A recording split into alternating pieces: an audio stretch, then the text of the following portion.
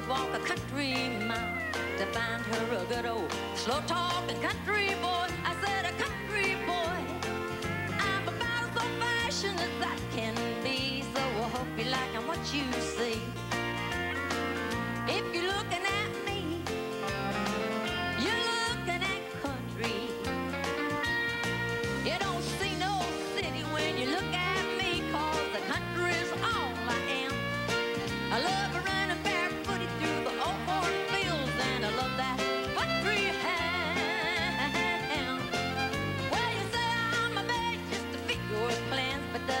Barnyard shovel fit your hands?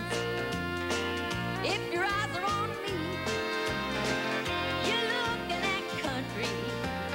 Oh, check it out there, boys.